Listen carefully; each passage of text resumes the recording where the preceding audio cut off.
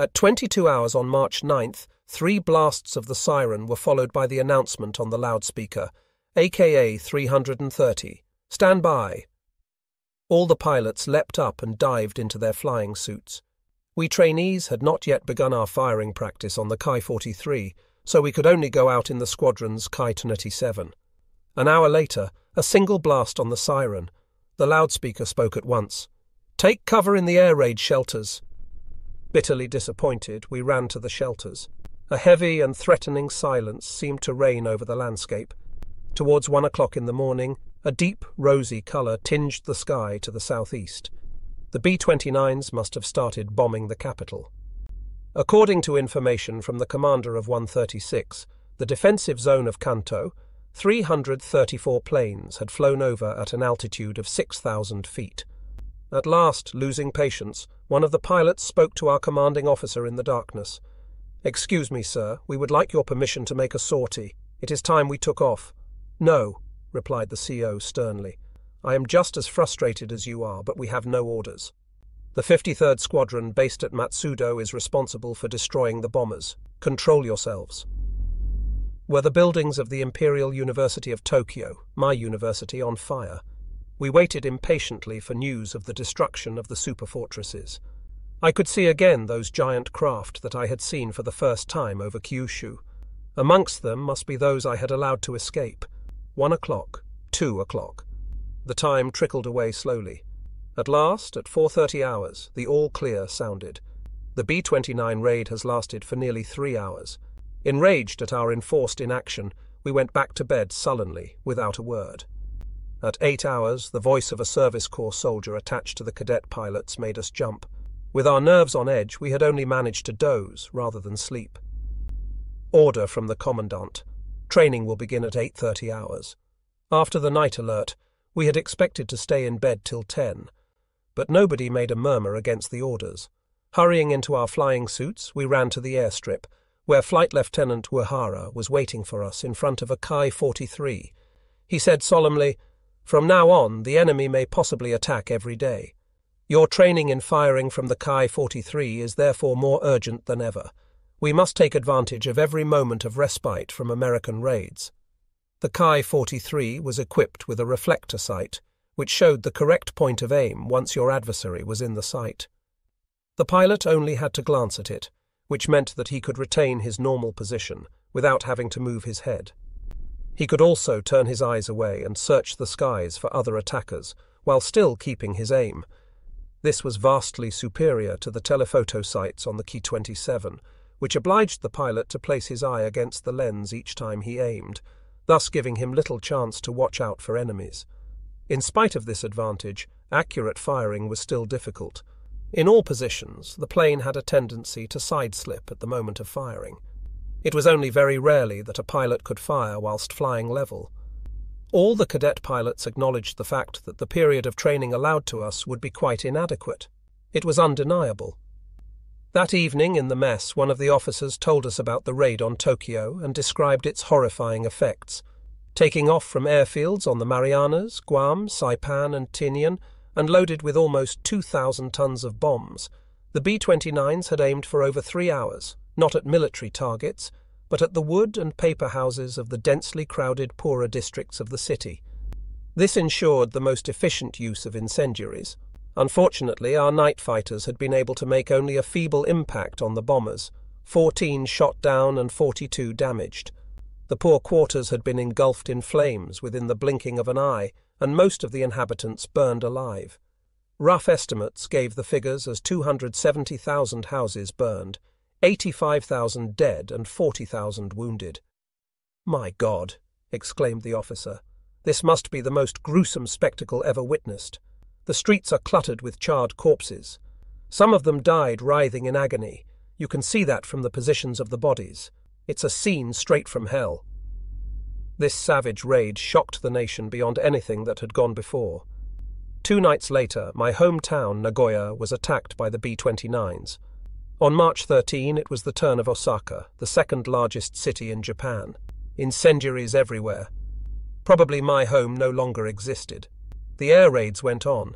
They were not aimed at military targets, but designed to provoke panic amongst civilians. Ten days later, the American fighters invaded the skies over Kanto.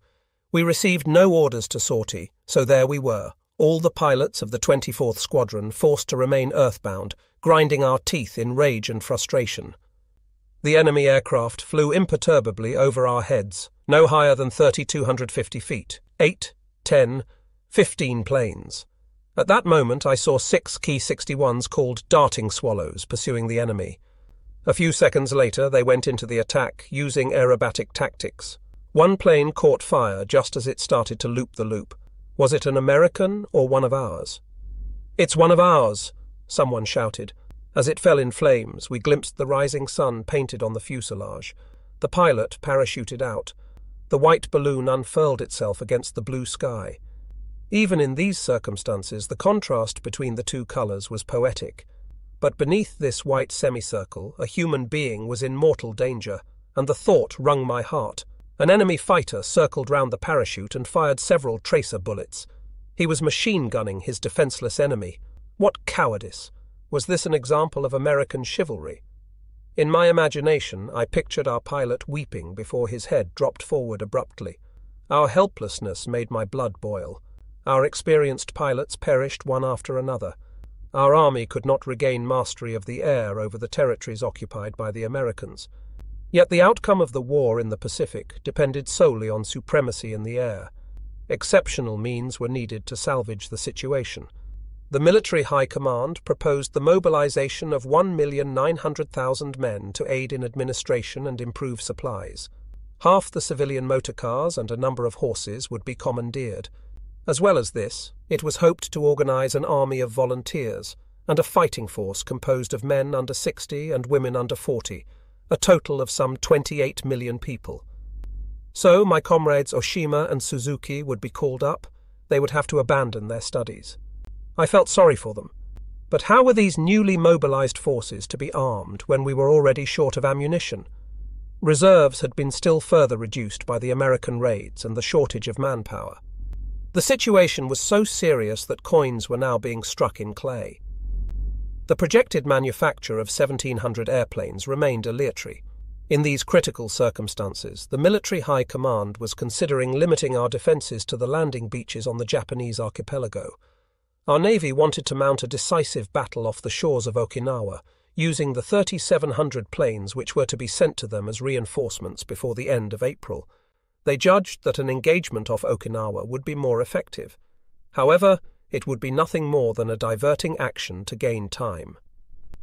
On March 16th, the battle for Iwo Jima, begun on February 25, was to end tragically. General Kuribayashi, in command of the island's garrison, sent his last message to Tokyo. We have exhausted our ammunition and the last drop of water. The survivors of this hard battle are about to make a last assault against the enemy. We give thanks for the blessings and favour of His Imperial Majesty, and we shall never regret sacrificing our lives for our country. The moment has come to say goodbye. On March 27, the general shot himself in the head. His men fought to the death. The defeat was a mortal blow, for the capture of this island enabled the long range P 51 Mustang fighter to escort the B 29. The war was entering its last desperate phase. It was out of the question for Japan to surrender without a struggle. The essence of Bushido was to fight on until one's sword was broken and one's last arrow spent. How could we find a way out of this extremely difficult situation? Ideally, it would be better to prevent the enemy planes from invading our skies, rather than concentrate on shooting them down once they were there. But it would be impossible to wipe out all the B 29 airfields in the Marianas, since we had lost both air and sea supremacy. At least we could try to stop the American fighters taking off from the aircraft carriers. This was how we came to consider suicide attacks, since it was a matter of the utmost urgency to destroy the enemy carriers that dared to show themselves in our waters. But the use of this desperate means did not come about in a very direct manner. A tardy spring was now approaching, but far from rejoicing, we felt that death was hastening his footsteps towards us. Suicide attacks demanded technical skill of a very high order, and I had a feeling it was still too early for them to call on us to carry out such problematic missions.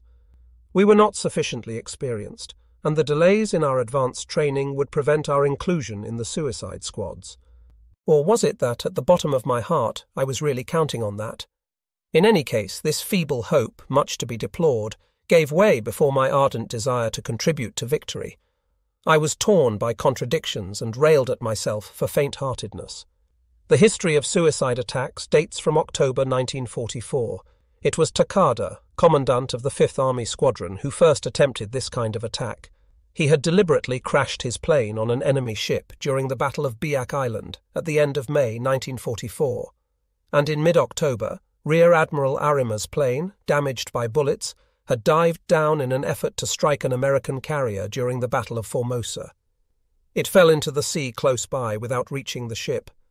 However, the suicide attacks carried out by these two heroes were not preconceived and planned. It was October 20 that the 1st Collective Special Attack Squad was officially formed under the leadership of Naval Lieutenant Yukio Seki. Nowadays, even in Japan, pilots of this special attack force are usually called kamikaze, but during the war their official name was Shimpu Tokubetsu Kogekitai, Special Attack Corps, in the Navy, and Shimbu Tokubetsu Kogekitai in the Army. The 1st Special Attack Corps was born in the Navy. At the end of July 1944, the 1st Naval Air Fleet was formed under the command of Vice Admiral Teraoka. The previous one had been totally destroyed. On August 12th, when the Vice Admiral arrived at Davao, on the island of Mindanao in the Philippines, he had a total of about 300 aircraft at his disposal, including several transport and reconnaissance planes. After urgent demands to the High Command, the number was increased to 500, but of these, only 280 were capable of effective action. On September 10, a sentry started a false alarm amphibious enemy forces in sight. No one could believe his ears. The plane, which had made a 400 mile reconnaissance over the sea the day before, had reported nothing. Nevertheless, hundred fighters from Davao were hastily sent to the base at Cebu. The enemy's incessant patrols soon discovered our fighters massed on this small airfield and they were not going to let such a marvellous chance pass by. Two days later, 160 planes attacked in several waves from 9 hours till 17 hours. Caught unprepared, almost all our fighters were destroyed, though they managed to bring down 10 of the enemy. And of course, losses from other attacks had to be taken into account also. In effect, the 1st Naval Air Fleet possessed only 30 fighters when Vice Admiral Takejiro Onishi, the new Commander in Chief, arrived on October 17. Air Force planes were divided into three categories those which were capable of engaging in air battles, those which constituted a reserve, and those in need of repairs. A total of 30, therefore, meant only 10 actively available. In spite of his high sounding title of Commander in Chief of the 1st Naval Air Fleet, the Vice Admiral commanded barely a squadron. Having directed the administration of aeronautical armaments, he was well aware that he had not the slightest hope of receiving additional planes. The 201st Fighter Squadron of the 1st Naval Air Fleet formed the 1st Suicide Attack Corps. It may be thought that this extraordinary procedure was born of despair, but it was not so. Pilots had long been deliberating on every possibility of destroying the task force with a limited number of fighters.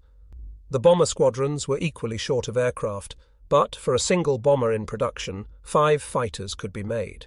It was therefore on the latter that our aircraft industry concentrated. The logical consequence was to attack the task force solely with fighters. The pilots hit on the idea of loading their Zeros with one 550 pound bomb. Of course, one could not hope to sink an aircraft carrier with a single bomb of this type, but at least it could put the ship out of action by rendering the flight deck unusable. It would mean literally wave hopping, skimming just above the water, then releasing the bomb in such a manner that it would hit the flight deck after bouncing off the surface of the sea.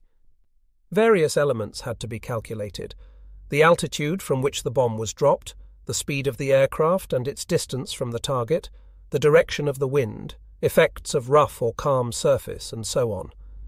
The 201st Squadron began a training that proved to be full of hazards. For example, a bomb released at an altitude of 13 feet rebounded to a height of 16 feet, and the airplane passed under the bomb. After practicing at peril of their lives, the pilots concluded that it was necessary to drop the bomb from 30 feet and at a distance of 325 yards in order to reach the target. Another problem arose. how to avoid crashing the plane. The Zero fighter, with a top speed of 280 miles per hour, was in danger of crashing into the ship 2.4 seconds after dropping the bomb. No matter how skillful he was, the pilot had only one chance in a hundred of escaping, and anti aircraft fire from the ships reduced this to 0.1%. Vice Admiral Onishi personally reduced this safety margin to zero. On October 18, he had an interview with Vice Admiral Teraoka, who was leaving the base. Normal tactics are no longer valid, said Teraoka. I agree with you entirely. If we really want to win, we must eschew all sensibility. I suggest we appeal directly to the pilots to carry out these suicide missions, rather than go through their squadron leaders. Crashing our fighters against the aircraft carriers seems to me our last chance. What do you think? All the same, I think it would be better to entrust the squadron leaders with this appeal to the men. Very well. We shall call this suicide attack corps Shimpu Tokubetsu Kogekitai. It will be divided into four groups Shikishima, Beautiful Island, Yamato, the Japanese people, Asahi, Rising Run, and Yamazakura Vertical Bar Wild Cherry Blossom. These four names were suggested by an ancient Japanese poem if you ask me what is the soul of the Japanese, the people of the beautiful island, I will tell you that it is the wild cherry blossom that scatters its perfume in the light of the rising sun. The blossom of the wild cherry, having scattered its perfume, falls without regrets. The meaning of this verse is that our people must always be ready to die for the benefit of their country, and like the blossom, they must fall without regrets. Next evening, Vice Admiral Onishi called five officers into a room in the headquarters of the 201st Squadron, which was based at Clark Field in the island of Luzon in the Philippines. Those present were Captain Inoguchi, Senior General Staff Officer of the 1st Air Fleet, Captain Tamai, second in command of the 201st Squadron, Naval Lieutenants Ibusuki and Yokoyama, who were senior pilots, and a staff officer of the 26th Squadron. He looked at them for a long time and then addressed them in a very grave tone. Kurita's fleet, he said, is absolutely compelled to make a stand in the Gulf of Leyte. We are charged with giving him air cover. We must knock out the flight decks of the enemy carriers for a week at least. In my opinion, the sole method of attack that could achieve this end is a suicide attack led by Zeros loaded with 550 pound bombs. What do you think? After a moment's silence, Tamai spoke. I am only the second in command, sir. Since it concerns the entire squadron, I feel I must seek the opinion of my superior, Captain Yamamoto, before giving an answer. I have already spoken to Yamamoto in Manila. You need have no hesitation in adopting his opinion. The truth of the matter was that Onishi had not yet discussed it with Yamamoto. His had indeed summoned him to Manila, but instead of waiting for his arrival, had impatiently taken off and flown to the 201st Squadron base. Having missed Onishi at Manila, Yamamoto set out to return to his base, but had to make a forced landing on the way. He was injured and taken to hospital. Everybody understood perfectly well Onishi's impatience and irritation. Indeed, they shared it, but there was a subtle difference between spontaneous suicide attacks and actually ordering men to sacrifice their lives. The circumspect Tamai, not knowing what to reply at once, asked the commandant for a few minutes to reflect and to discuss it with his comrades. When this was granted, he left the room with Ibusuki. The two men had an impassioned interview. They were concerned as to the effect this suicide order would have on the pilots. Their morale was high, but would they think such an order justified? Everything would be determined by the first attempt, if it succeeded and proved that a single fighter could effectively damage an aircraft carrier, then everyone would be willing to carry out similar missions. The order would vindicate itself. On the other hand, a failure would be disastrous. It would utterly demoralize the pilots. Captain Tamai called together the NCO pilots of the ninth intake. They had come under his command a year previously at the 263rd Squadron's airbase at Matsuyama in Shikoku and had shared with him in various battles from the Marianas to Yap. Two thirds of them had been killed, and there were only 23 survivors. Tamai explained Onishi's proposal. In the gloomy room, lit by a single bulb, he saw their eyes shining with enthusiasm. The 23 pilots replied simply and without hesitation Right, we agree, no problem. They were too young to express their feelings more articulately. Confronted with this burst of patriotic fervour, Tamai felt his eyes fill with tears. He went immediately to his commander's office to report his men's willing consent. All that remained was to choose their leader. They would have liked to propose Naval Lieutenant Sugano, an extremely brave officer who had distinguished himself during the Battle of the Yap Islands. Frustrated by the invulnerability of the B 24, he had rammed his plane into his foe and brought him down. Although half the wing was torn off his own plane, he had managed to return to base. He always kept his personal belongings in a little box labelled Property left by the late Captain Tadashi Sugano. He was bound to die heroically, and so merit the posthumous promotion.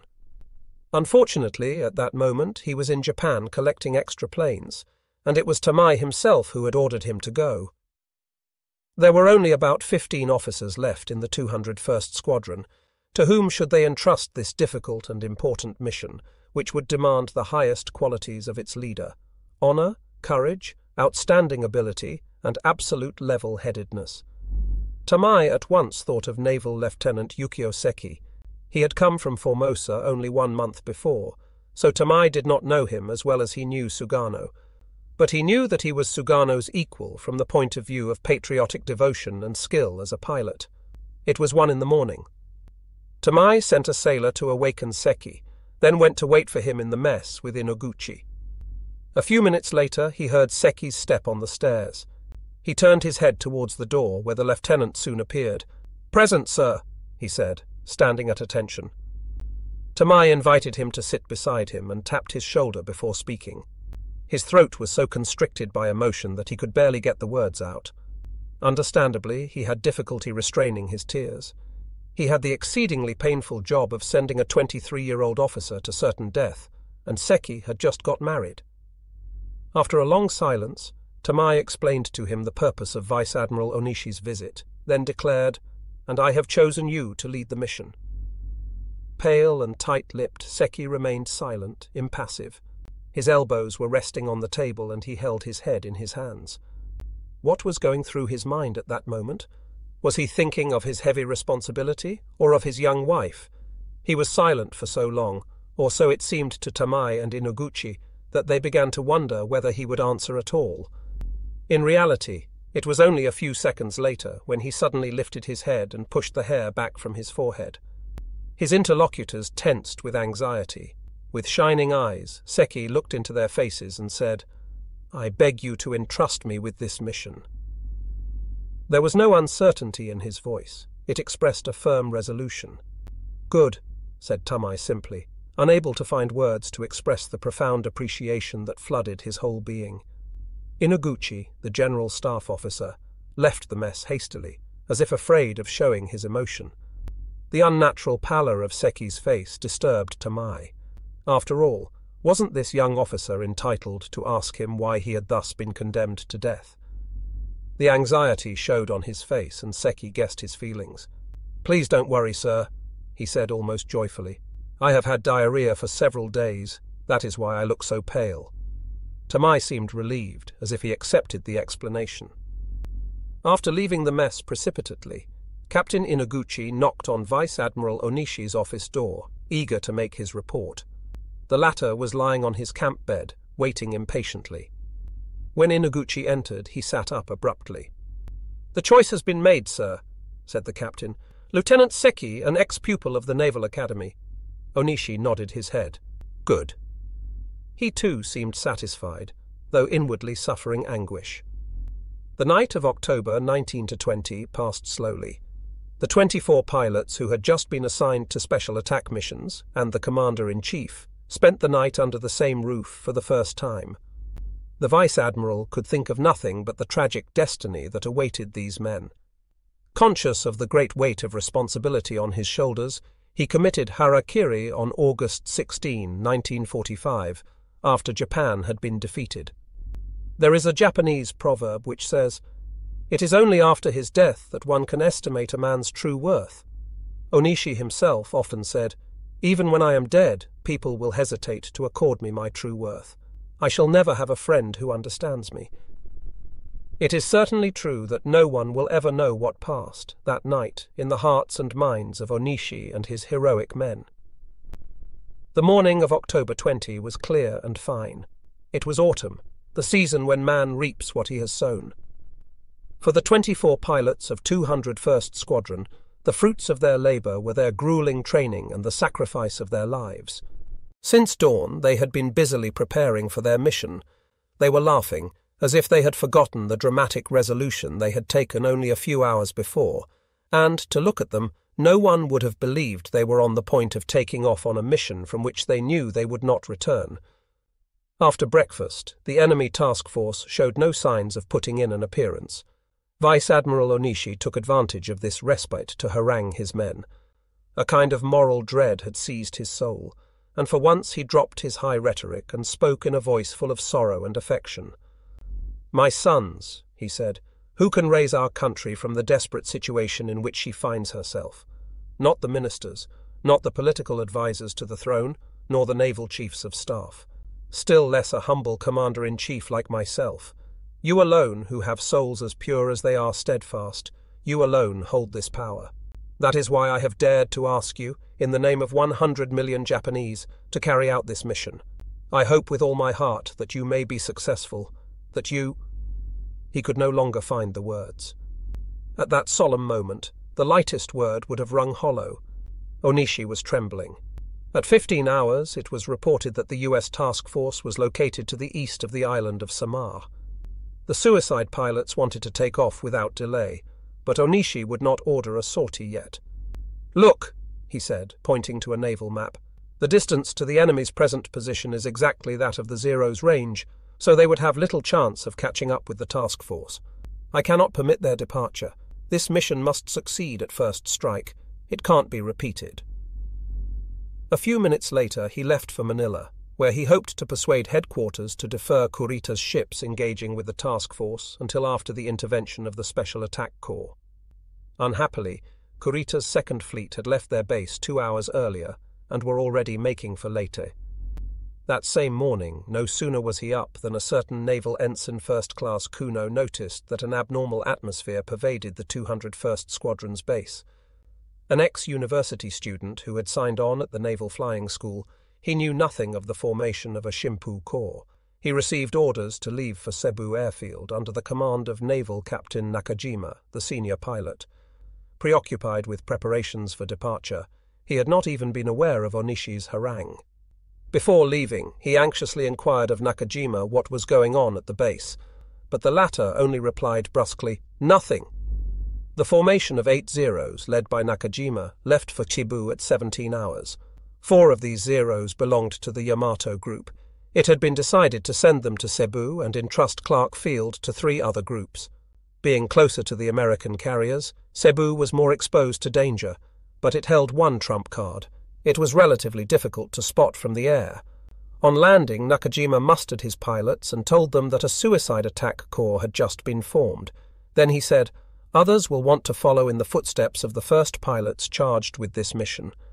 Volunteers should simply write their name and rank on a slip of paper and put it into an envelope.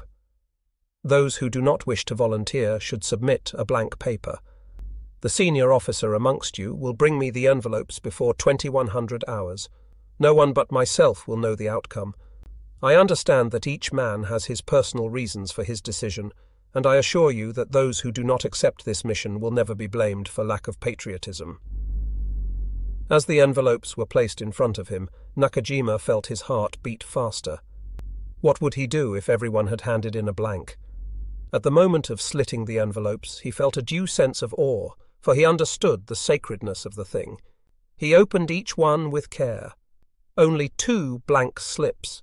The two pilots who had handed these in were both suffering from serious illnesses. He sighed with relief. At that moment, Ensign First Class Kuno came into his office. His eyes were bloodshot, and he looked angry. Excuse me, sir, he said, hammering out his words, but I cannot understand how you can be so thoughtless as to exclude me from the suicide attack corps. Oh, but you haven't been excluded at all, replied Nakajima. You will be part of the group flying the Zeros we have just brought to Cebu. Kuno smiled. His whole expression cleared. He saluted and left the room, looking really happy. A few minutes later, Nakajima heard someone playing the piano. It must have been Kuno, for he was the only one at Cebu Airfield who could play it well. Now he was playing for the last time, and he put his whole soul into the music. Perhaps he was pouring out all his love for his wife. At 15 hours on the 21st, a message was received. Enemy aircraft carriers sighted 60 nautical miles to the east of Suluan Island. At that very moment, four Zeros of the Yamato group, together with two escorting Zeros, had just lined up on the runway. Several US Grumman's appeared in the sky over the field. In the winking of an eye, six Zeros were hit by bullets, though luckily their bomb loads did not explode, and they were too badly damaged to fly. If only we could follow the Grumman's, we would be able to locate the enemy aircraft carriers exactly, which we had not so far been able to do, owing to the shortage of reconnaissance planes. Nakajima instantly ordered the preparation of the reserve aircraft. Ten minutes later, three more Zeros were ready. Kuno was in one of these. Nakajima said to him, You have no protective escort planes. If you cannot fulfill the mission, do not hesitate to turn back. Don't worry, replied Kuno. I shall certainly find some worthwhile targets at Leyte. That night, two Zeros came back, having failed to locate the carriers. Kuno's Zero did not return, According to an American communique, no aircraft carriers were damaged that day. At Clark Field, the Shikishima Group, commanded by Lieutenant Seki, was on constant readiness for a suicide mission. On that same day, at 19 hours, the message came in Enemy carriers sighted east of Leyte. Seki took off at the head of his flight of Zeros, after having consigned to Tamai's care a paper in which he had wrapped a lock of his hair. However, all the Zeros were obliged to return to base without having been able to find the US task force. The Shikishima group made sorties on each of the three days that followed, but had to return frustrated every time. On the 24th, the battleship Musashi had the misfortune to be sent to the bottom. Feeling that this was due to his failure to sight and destroy the enemy aircraft carriers, Seki bowed low before Tamai and said, I have no excuses. Tamai saw tears streaming down his cheeks. At 7.25 hours on the 25th, the Shikishima group, Bol composed of five bomb-loaded fighters and four escorting Zeros, left Clark Field. At 10.40, the lieutenant's formation chanced upon some American aircraft carriers about 850 nautical miles off the island of Leyte. Seki waggled his wings as a signal to attack, dived and skimmed just above the waves towards one of the carriers. Before the ship could begin evasive maneuvers, or the anti-aircraft guns could open fire, he had crashed into the carrier, exactly between the flight deck and the hull. The bomb he was carrying exploded, making a huge hole in the side of the ship. Another Zero followed Seki, and with consummate skill plunged into the hole already ripped open in the ship's side. The carrier fled, zigzagging as it went. Pilots in the other Zeros saw flames and black smoke billowing to a height of 3,000 feet. Another Zero crashed into a second carrier and set it on fire. Yet another hit a heavy cruiser, which belched smoke and was presently shaken by secondary explosions. The Shikishima group had finally carried out their suicide mission, a horrifying spectacle, but at the same time a historic event. The heroes of this first suicide group had undoubtedly kept their eyes wide open right up to the fatal moment of the crash, as if they wanted to watch their own lives vanish forever. This took place early in the afternoon. The airmen at Cebu Field saw a Zero approaching at top speed. Sometimes, damaged planes from other squadrons arrived unannounced in this manner. The base was famous for giving strangers a warm welcome, and all comers would be regaled with sushi. As a result, some pilots made forced landings at Cebu just for the pleasure of indulging themselves with a plate of sushi. Thinking the Zero pilot must be one of these ravenous visitors, Nobody paid any particular attention. The pilot made rather a wild landing and jumped out of his cockpit. He ran towards the commander's briefing room, yelling, The Shikishima group have done it at last. He was the pilot of one of the escorting Zeros. He gave Captain Nakajima a detailed account of the show put on by the heroic flyers. It was a tale to make one's hair stand on end. Nakajima immediately sent a message to headquarters. The Shikishima group of the Shimpu Special Attack Corps have carried out a successful surprise attack on an enemy task force composed of four aircraft carriers, 30 sea miles northeast of Suluan Island. Two planes crashed into a carrier, which must certainly have sunk.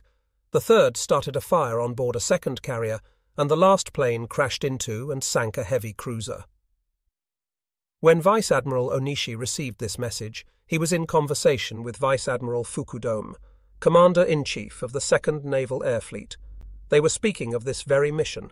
The Second Naval Air Fleet, possessing 500 planes, including reserves, arrived at Clark Field on the 23rd October.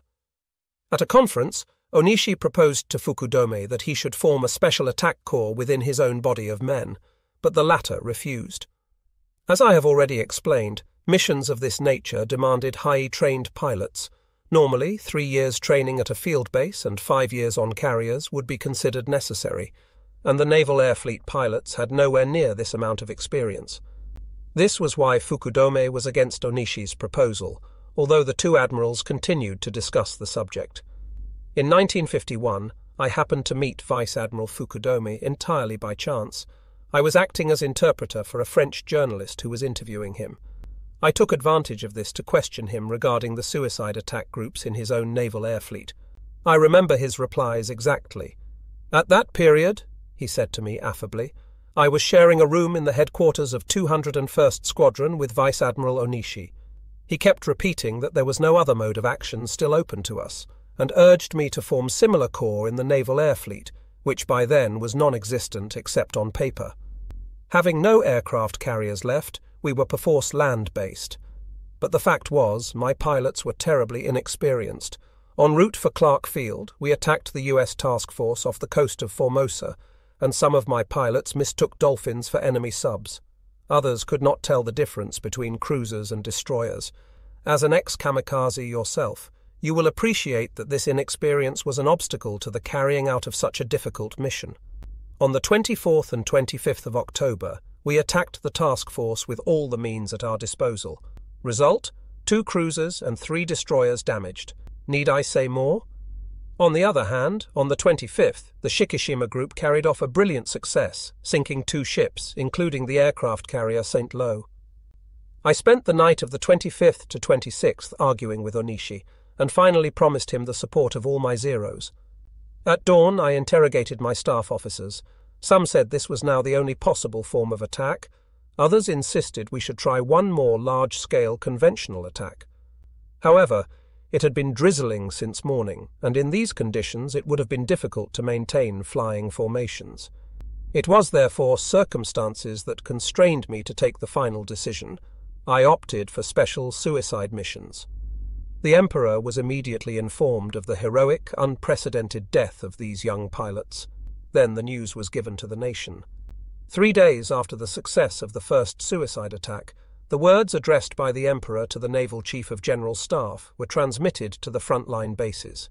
Nakajima, pilot in chief of the 201st Squadron, assembled all pilots and mechanics and read them the message. Mounted on a little rostrum, he paused, then swallowed hard before speaking. I am going to read you the Emperor's words, he said in a voice full of emotion. Here they are, to think that it has come to this, and yet they have done nobly. Emotion nailed each man to the spot, deathly silence. Everyone was thinking of what the Emperor must have felt in his heart when he heard this great news, and of the suffering that had shown in his face. With aching heart, he had graciously praised them, but wasn't his true feeling one of despair? When Vice Admiral Onishi read the message, he seemed to be seized with both respect and fear. He was conscious that his action, his decision as a leader, fully merited the criticism implicit in the Emperor's words. On October 28, Admiral Toyoda, Commander in Chief of the Combined Fleet, presented a citation to the Shikishima pilots, and on November 12, their illustrious deeds earned them a promotion. Thus, our aeronautical operation metamorphosed into a suicide mission. After the Navy, the Army adopted the same tactic.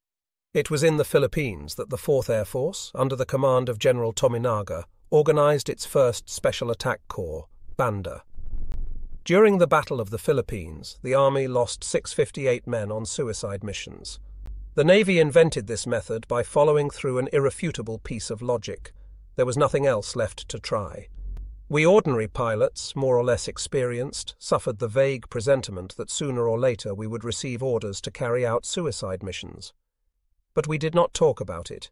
Even when he is rushing towards disaster, man cherishes the insane hope that somehow he will survive. He comforts himself with the conviction that he will be the very last to fall victim to the tragedy.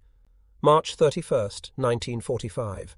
For some days now, the airmen had enjoyed walking up and down the avenue of cherry trees that joined the barracks to the large bathhouse.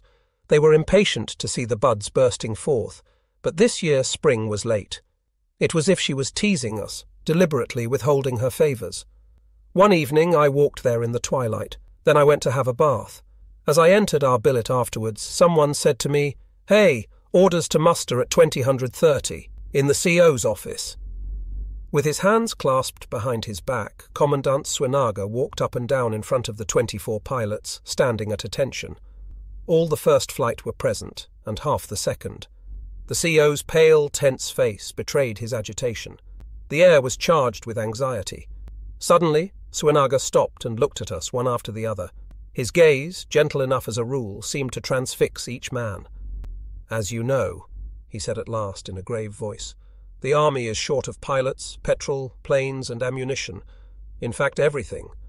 We find ourselves at an impasse. There is just one last resort left to us to crash on the decks of enemy aircraft carriers, as your comrades have done before you. Two hours ago, our squadron received the order to form a special attack corps. I am compelled to ask you. He hesitated, but there was no need for him to go on. We knew at once that we were already committed.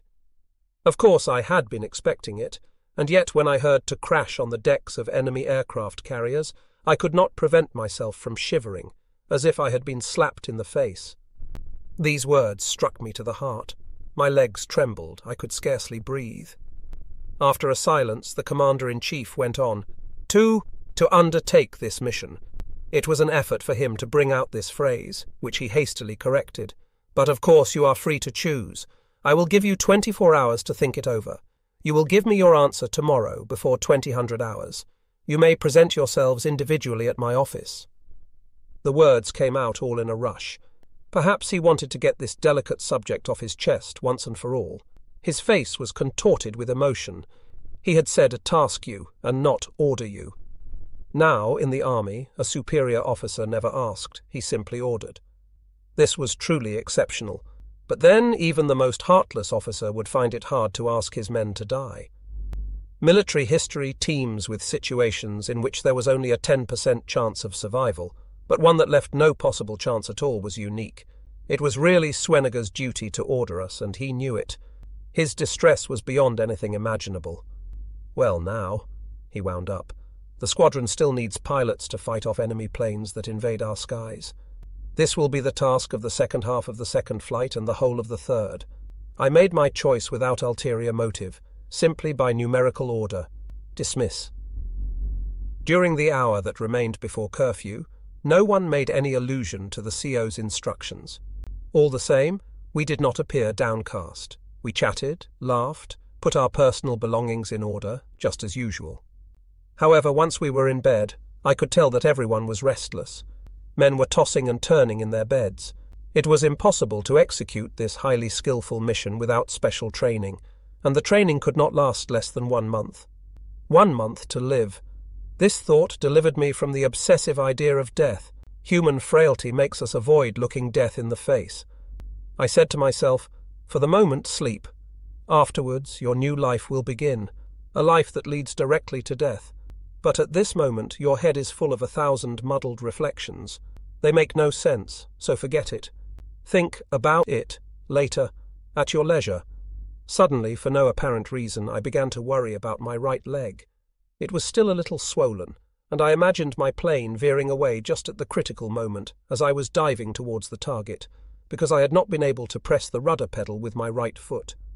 Upset, I tried to chase away this nightmare. Then I started counting, a habitual remedy for sleeplessness since I was a child. Eight thousand, nine thousand. I do not know how many I counted. Sleep engulfed me like a deep chasm. April 1st. I book-arrived to the first flight. My fellow cadet pilots were, like me, willing to accept the commander's request. Perhaps we were influenced by the already tense and highly charged atmosphere of the base. In any case, deep down, we had been expecting it. Yet at the bottom of our hearts, a vacillation, a reluctance of our whole beings, persisted. The CO had given us a free choice, not a categoric order. But in the army, did an underling really have any choice but to say, Yes, sir, certainly, sir, to a superior officer?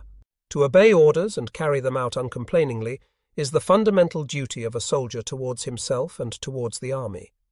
Therein lies the army's greatness and glory, as well as its inhumanity and ruthlessness. What would happen if soldiers refused to obey their officers? For us, the question was something else. Brothers have no need to ask one another to sacrifice their lives for the common defence. The security, the very existence of our families was threatened. Women, children, and old men had already been among the innumerable and pathetic victims of bombing and machine gun fire. It was therefore natural that we should go to any lengths, regardless of our own safety, to protect our families. In a certain sense, our desire and the Commandant's request coincided. Referring to the circumstances in which our pilots joined the suicide squads, it is often asked, were they really volunteers or acting on official orders? I have no intention of glorifying this event, unique in the history of war, but as a witness who survived, I can affirm that our own wishes were in perfect accord with orders from the High Command. It was so in my own case, at any rate, and presumably in the case of Lieutenant Seki. On the evidence, whole groups of aviators presented themselves for these missions, under pressure of urgent circumstances. On the other hand, no one but the man himself can claim to know the state of his soul. Regrettably, there are intellectual hypocrites in Japan today who make this claim and indulge in censure of the kamikaze. The author of Chiran, for example, writes If Lieutenant Seki reflected for a long time before replying, perhaps it was because he was devoured by anguish. Is it not true to say that under the circumstances it was not so much a voluntary act as a compulsory one? In the majority of cases, these pilots were forced volunteers. Many veteran soldiers believed that the Suicide Corps represented the flower of the Japanese race, and that this worthy act was in the true tradition of our people. Volunteers or conscripts, that is not the question. I can only reaffirm that all my comrades were ready to accept the order voluntarily, even to ask to be sent on a suicide mission. It matters little whether they volunteered or acted under strict orders. Their one thought was to defend their homeland, even at the sacrifice of their lives. We ate our breakfast in the mess. Suddenly, Cadet Pilot Tanaka spoke up. Look, we're all ready to accept this mission. Why don't we go to the CO straight away and tell him so? Everyone agreed. Right. We were already on our feet when someone said by way of a joke, we might as well finish our breakfast at least. We all sat down again. I took advantage of this delay to bring up a detail. Our planes will carry a 500 to 550 pound bomb so we shall have to make them lighter by stripping off the machine guns. And now we're so short of planes, we will not be given escort fighters as the other special attack groups were. How then can we give the American fighters the slip and get through to our targets? We must think about this. Think about what? shouted Tanaka. You're an excellent pilot. What are you afraid of? Don't you want to accept the mission? Don't you believe it can succeed? He looked at me sternly, leaned back in his chair, and crossed his legs. A graduate of a Buddhist university in Kyoto, his character was cool and well balanced. Yet at that moment I sensed some change in him. He seemed tense. I had never seen him so worked up before. You pour scorn on what I say, I replied, but my point is precisely this. Suicide attacks are the only method left to us, and therefore they must succeed. If, with our 24 planes, we can sink eight or nine enemy carriers, it will give time for the pilots who follow us to undergo full training. I am always ready to give up my life for the defense of Japan. But surely it is worth considering the best means of reaching the target. If we fail, if we allow ourselves to be shot down by ack-ack or American fighters, our sacrifice will serve no purpose. By the way, one of the cadets said suddenly, during the last month I have noticed that my eyesight is failing. I cannot see the target clearly. I am doubtful about taking part in this attack. Theoretically, the first man to spot the enemy wins the battle, I said, But this mission does not necessarily demand such good eyesight, since our target will not be a plane but a huge aircraft carrier. All you have to do is follow the plane in front of you. Crashing won't be difficult. Nagatsuka's right up to a point, said Tanaka, but I still think poor eyesight is fatal to a pilot. How will you be able to evade attacking fighters? I advise you to tell the CO the truth and let him decide what you should do. Have you consulted the MO? Not yet, replied the cadet. I didn't dare in case he grounded me. I want to be a pilot right up to the end, you understand? He let out a deep sigh, full of sorrow, and lowered his eyes. His face expressed a profound bitterness. Suddenly, he put down his chopsticks, stood up, and walked over to the window. After a few moments, he turned round, making a little woebegone gesture. Well, it can't be helped, he said. I'll tell the Commandant the truth about my eyes. I hope he'll let me stay with you. That is my one wish. Flying Officer Enomoto came into the mess. He was our senior, a Tokuso of the first intake. He had studied Japanese history at Hiroshima High School. We stood up and saluted him. He returned the salute, then sat down with us. He looked intensely worried. Mastering himself with an effort, he said, You've decided, eh? Haven't we intellectuals a duty to fulfill after the defeat?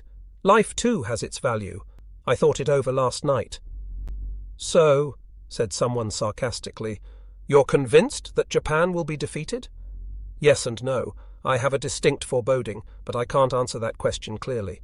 The military high command doesn't always keep us informed of the real state of the war.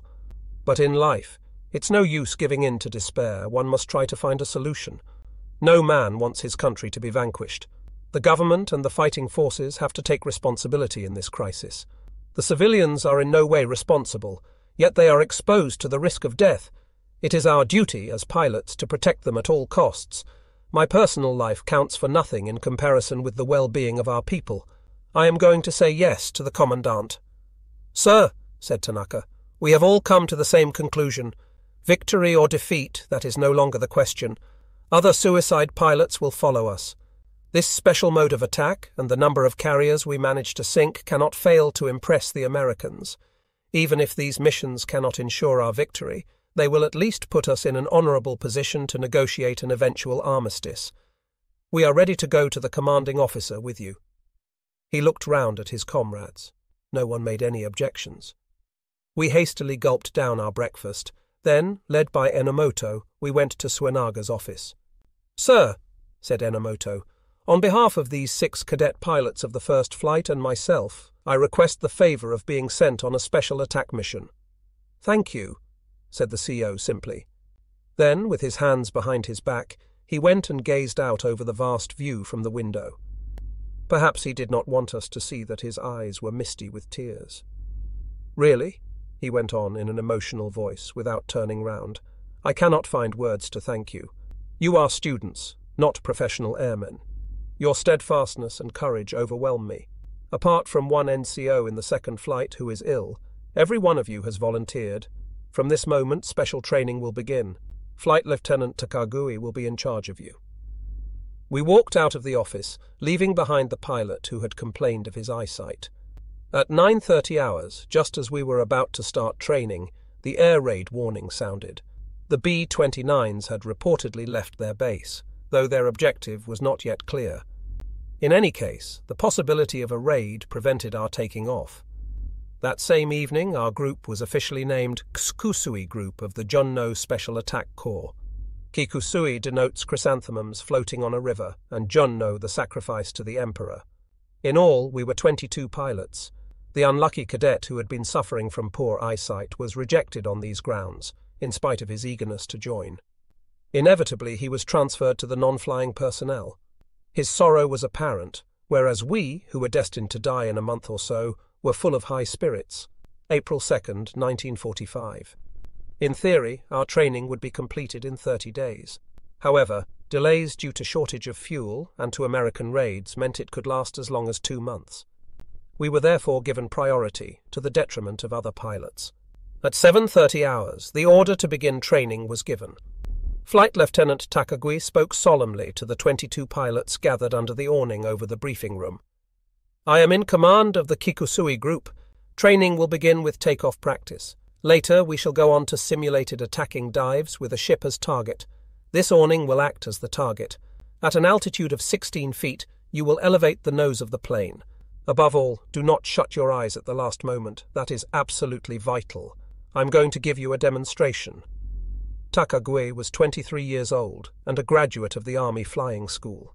Very keen, with sparkling eyes, he sometimes gave the ground crews a rocket. Everyone was afraid of him, but he never ill treated the pilots. It was said that he had shot down more than 15 enemy aircraft during the Battle of the West Pacific. Tall and robust, he reminded us of a bronze statue. His face was rather inexpressive, and he never smiled. In short, he was the very personification of the fanatical and short sighted professional serviceman. But the thought that I was soon to share his fate, whether I liked it or not, made me look at him in a rather more sympathetic light. There is a tendency to think that suicide attacks were simply a matter of crashing blindly and heedlessly into the target. As I have already said, it was not as easy as that. Taking off, for example, required the utmost caution. With a bomb weighing over 500 pounds, the Ki 43 would stall if pulled up off the ground in the usual way, so our first day was devoted to take-off drill. A log weighing about 200 pounds was fastened under the planes in lieu of a bomb. Needing a longer runway than the Ki 45 Kai, we had to bring the nose up right at the end of the airstrip, at the level of the trees that bordered the field. It was impressive to see the branches, from close to, bending in the wind produced by the plane. The undercarriage could not be retracted until we had gained sufficient speed, at a height of about 150 feet. An hour later, takeoff practice ended. We had to economize on fuel. The Kikusui group was composed of eight NCOs, ten cadet pilots, and three junior officers, originally in the infantry who had become pilots. There was a certain amount of implicit rivalry among the various pilots, but oddly enough, once training began, a mutual sympathy drew them together. No doubt it was a sense of solidarity in face of a common destiny, as when all the rams in a flock close ranks in self defense. That evening, in the mess, Flight Lieutenant Wahara explained a suicide attack to us in detail. You haven't read the papers for a long time, he said, so you haven't heard about the success of the second Mitate group off Iwo Jima. Twenty suicide planes heroically attacked the American ships escorting the troops who landed there on the 21st of February. Three suicide planes crashed one after the other into the aircraft carrier Saratoga, hurling themselves at the same point on the deck. She was forced to withdraw, badly damaged, and with more than 200 dead and wounded. Another suicide plane hit the escorting carrier, the Bismarck Sea, which sank after the crash had set off a number of explosions. Another escorting carrier and two transport ships were struck by other suicide planes and suffered considerable damage. Our attack sowed terror amongst the enemy sailors, proving that this method has a certain psychological value at the same time, it must be admitted that half our suicide planes were caught by ack-ack as they dived and fell into the sea without reaching their objectives. Some, it is said, were hampered by jets of water thrown up by shells. The enemy have invented a new tactic. They explode shells all round their own ships so as to create a screen of water spouts. Whatever you do, don't lose your heads. Keep calm. If you are shot down during your crash dive, you will die in vain. In the case of a water skimming approach, you run the risk of being caught in the waterspouts, as well as by the ack-ack. If you use the high altitude approach, enemy fighters may shoot you down. Success is, either way, problematic. It is up to you to decide by calmly calculating all the factors of the actual conditions present, whether to use the wave hopping or the high altitude approach. We realized how difficult our task was. Failure would be irredeemable, since the price of a single attack would be our lives. Moreover, it was not expedient for five or six suicide planes to hurl themselves at the same ship. One plane against one ship. That was the basic principle. Wahara's lecture gave me much food for thought. April 4th. After takeoff training, we tried the high altitude approach for the first time. Today, April 4th, was the fourth day of the fourth month of the year. Four is pronounced shah, and so is the word meaning death. I am not superstitious, but I could not prevent myself from reading omens everywhere. This training would lead me to my death in the very near future. For the light fighters, two methods of approach had been developed the high and the very low altitude, The former had the advantage of making interception by enemy fighters difficult. It consisted in concealing oneself amongst the clouds till the last possible moment, then starting the dive from 16,000 to 20,000 feet. At the end of the trajectory, the nose of the plane had to be pulled up to an angle of 45 to 55 degrees in relation to the point aimed at. There could be only one attempt at this approach. In practice, I did not dive steeply enough at the beginning of the descent, and so passed high over the awning, which was supposed to be the aircraft carrier, instead of almost skimming it. Total failure. This brought home to me the realities of the problem. Before dismissing us, Flight Lieutenant Takagui, still wooden faced, said to us, In the case of the high altitude approach, you should aim at the lift cages at the bow or the stern of the carriers. They present the weakest spot. Ideally, one should plunge down the funnel. It's the best way to sink a ship in the twinkling of an eye. But good God, if the experiment you just carried out had been real, you would all have fallen into the sea without striking your target. So we must go back and spend some time practicing takeoff and getting into formation with the minimum possible delay. Circling about over the airfield only wastes fuel. On April 1st, the Americans landed on Okinawa, an island that forms part of metropolitan Japan. Our navy was to mount a decisive battle in this zone. Perhaps large numbers of suicide planes would be used in an effort to destroy the 5th US Fleet. Some of the officers in our squadron were hoping that the Special Attack Corps' remarkable success would put an end to hostilities. The Battle of Okinawa marked a turning point in the destiny of Japan.